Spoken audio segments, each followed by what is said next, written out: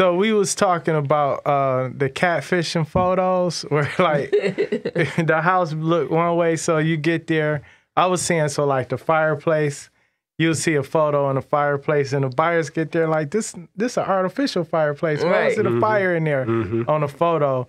So a lot of times, what people don't know is when we hire photographers to come out, sometimes the photographers will just send the photos with all their edits, and it's up to us to decide and upload them.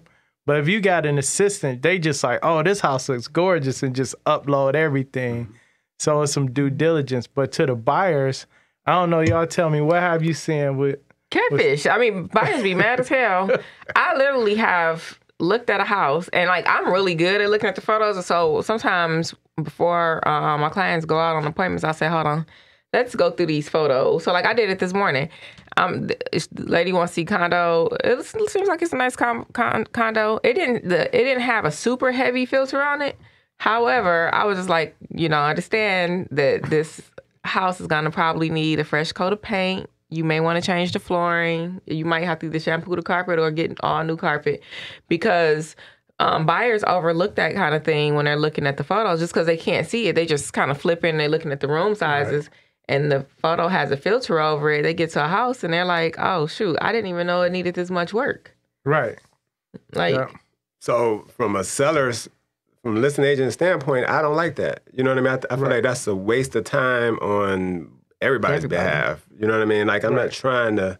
I don't want the photo that's not giving a true depiction of the house because when the person gets there, typically they're disappointed, and you know, uh, you wasted all y'all time. You know what I mean? Right. You could have gave a, a true photo of the house, maybe a little bit of touch up. You know what I mean? Just a little bit of you know, just a little bit of touch up, so that people understand what it is they're going. They got reasonable expectations when they get there. Mm-hmm. Those photos we talking about. Them was like the the women that you know that look one way and then they put on all the makeup and then you see Right. them and they got all the makeup on. You're like, damn. And they take them. You you, you see them the next morning with the makeup off, and you're like, what? So I, I'm, I'm glad you said that because I told my wife, I said, man, if I was single right now, I'm going swimming on the first date. Like we going swimming. right. So yeah, that's so with with the um with the photos. So I tell I tell everybody, you want quality photos, but you don't have to um do makeup and editing and all the Man, Photoshop I've seen on the photos. pho- I've seen a whole hole in the ceiling edited. I mean, like a whole a, a, a ceiling caving in, right. edited like it was there. You if you like Right. if you look real close, you could see it. But I'm like, what in the world? This like it was a um it was a distressed property, Right. and it because of the editing, it looked like this was a habitable property. Right. So, like Kashka said, it's a waste of time. But I think there's also a value in that too, right? Because if if you're fooling people on the photos, the house is staying on the market longer. People are disappointed, Yep. so they're either not putting in offers on your house, or if they are putting in offers, they're now they may be lowballing potentially. So there's a value add to to me to showing true and accurate photos. Yeah, I think too, like now there is one strategy that I've used before where like you said that home has uh, the ceiling messed up. So you'll take a property cuz I don't I'm not real creative. I don't have that vision to go in and design and decorate.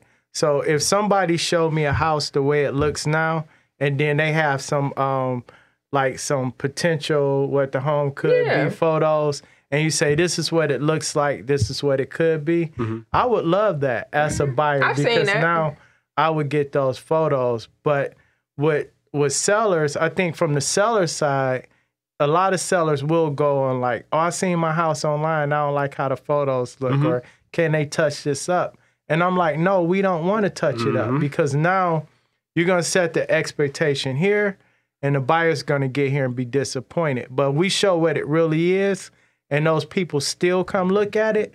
That's your buyer. There it right is. There. There it is. Yeah. But mm-hmm. I'm gonna tell you the photos I hate. right. I hate when agents take photos. I have agents. I'm not really against camera phone photos hmm. if you do it right.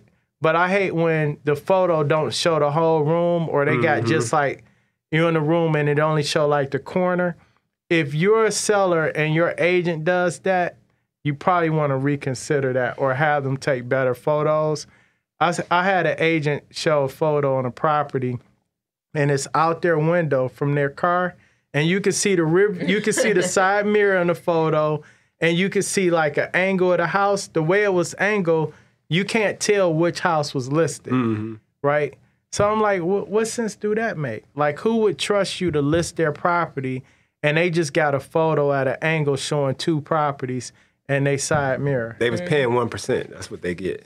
Get what you pay for. No. Three ninety Well, that five could flat be it. The agent probably couldn't afford the, but I mean, at least put the effort in and get out your car, stand at the curb, and take a good square shot photo of the actual property. So understand, you get what you pay for. Right. Right. So if you want professional pho- photos, and Right. you want your house represented the right way, you got to pay at least full commission. Well, yeah, and the, but the agent should negotiate that or include that in their package when they say what they're going to do. Mm-hmm. Because here's the thing: from an agent standpoint, I have to pay this photographer whether your house sells or not. You mm-hmm. can call me tomorrow and be like, "Oh, I changed my mind. I'm out of a couple hundred dollars mm-hmm. already." Not including if I did a drone footage, if I did the um, night nighttime stuff, yeah. photos, uh, the Twilight. virtual tour, and the video for your home. So, yeah, but photos are important, but we don't want no catfish photos.